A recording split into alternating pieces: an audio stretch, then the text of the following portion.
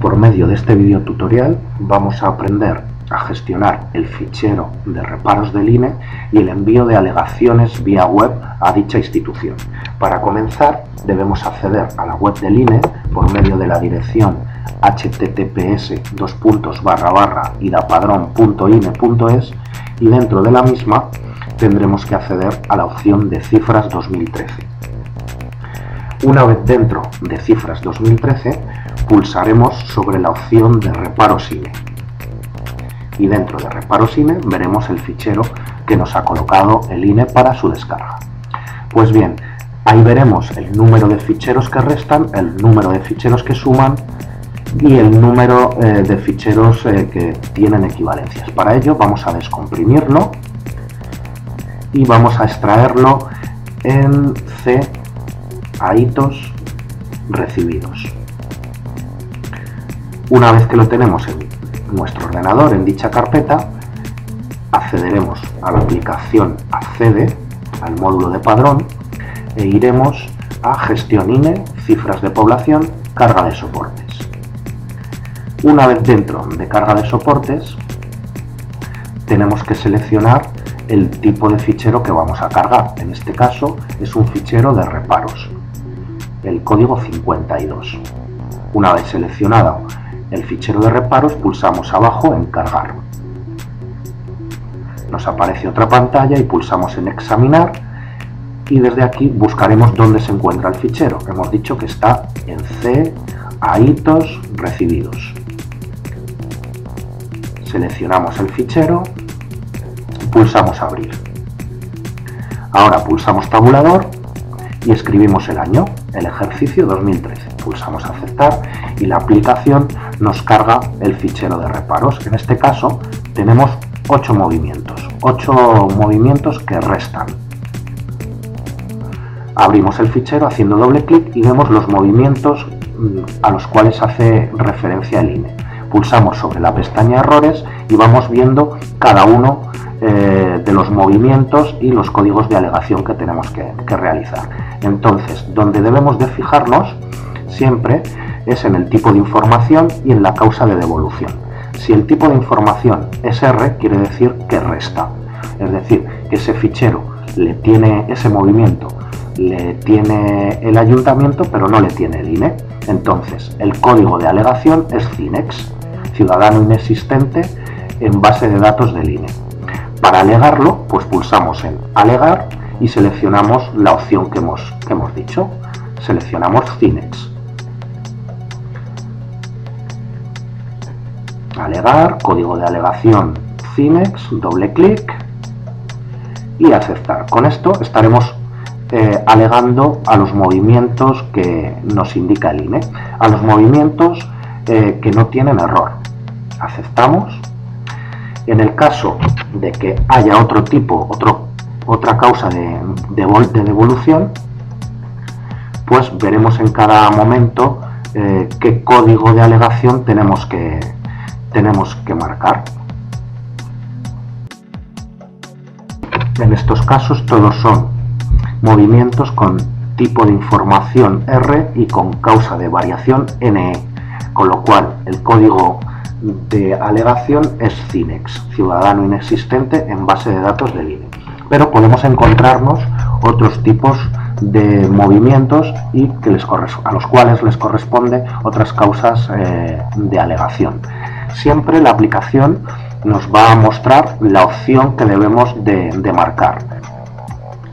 En este movimiento tenemos que se trata de un error 82, el tipo de información es C y la causa de devolución RE. Aquí nos está indicando que este habitante ha fallecido, con lo cual debemos de comprobar la situación en la que tenemos a dicho habitante en nuestro padrón y si es correcta, no alegamos.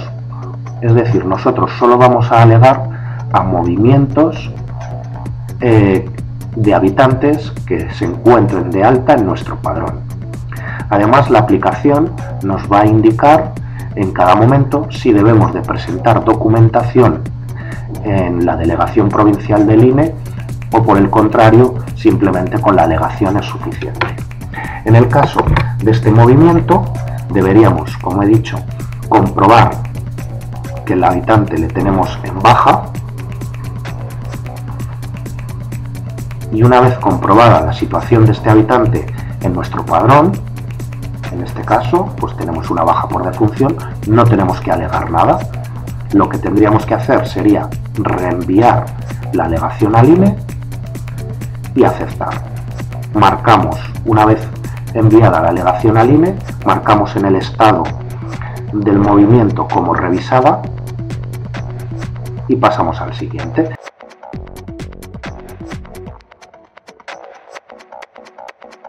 En el siguiente caso es otro tipo de información R, causa de evolución NE, pues ciudadano inexistente en base de datos del INE, no hay que enviar ningún, ninguna documentación al Instituto Nacional de Estadística.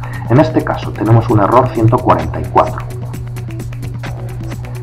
Nos está diciendo que el habitante o el INE no tiene el DNI de este habitante.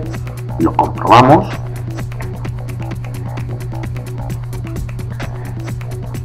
y veremos que el habitante efectivamente no dispone de DNI. Pues lo que tenemos que hacer es localizar al habitante y hacerle un movimiento de modificación de datos personales. Le estamos seleccionamos eh, asimismo seleccionamos el movimiento, el código de alegación que corresponda y como veis nos indica que requiere documentación, es decir, debemos de enviar el DNI al Instituto Nacional de Estadística.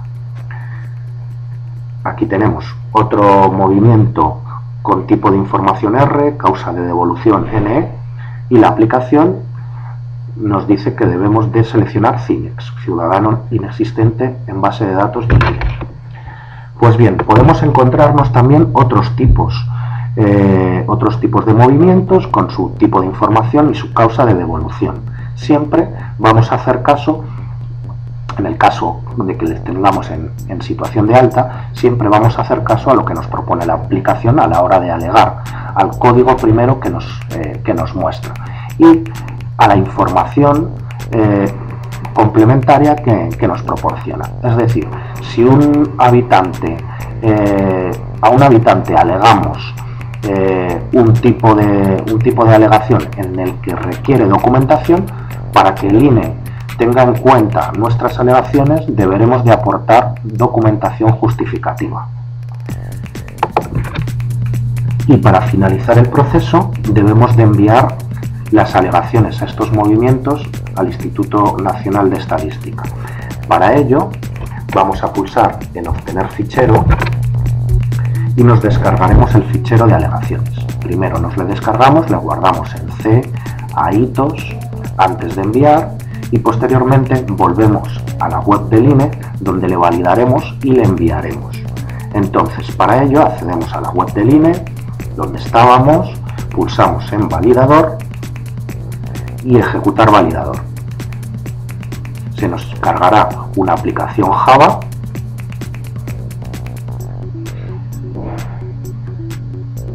la ejecutamos y dentro de la aplicación que se nos carga iremos a envío alegaciones y en la ruta del fichero seleccionaremos dónde se encuentra. El fichero se encuentra, como hemos dicho, en C antes de enviar. Desde ahí le seleccionamos y pulsamos en aceptar. De este modo nos valida el fichero y como resultado obtendremos dos ficheros, un fichero 013 eh, y un fichero UNB, que son los que luego posteriormente tendremos que enviar. Pues bien, para enviarlo iremos a alegaciones, envío de alegaciones. Pues bien, y aquí vamos a hacer un inciso.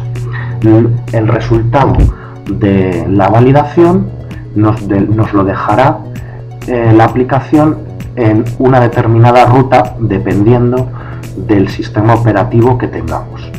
En mi caso, tengo un sistema operativo Windows 7, con lo cual el fichero, los ficheros más bien, los dos se encuentran en C, usuarios,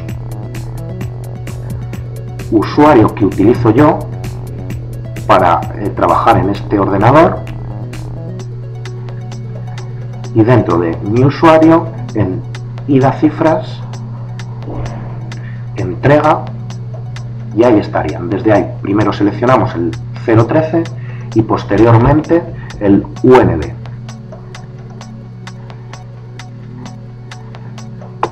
Esto sería en, caso, en el caso de utilizar el sistema operativo Windows 7. Fijaros eh, que la ruta que os he dicho es C, usuarios, nombre de usuario que utilizamos en esta máquina y la cifras entrega. En el caso de que utilicemos un sistema operativo Windows XP, la ruta sería diferente. En este caso sería la ruta C, Documents and Settings, nombre de usuario que utilizamos para trabajar en este ordenador y da cifras entrega. Una vez que tenemos seleccionados los dos ficheros, pulsamos en aceptar y otra vez en aceptar. De este modo habríamos enviado los ficheros al INE.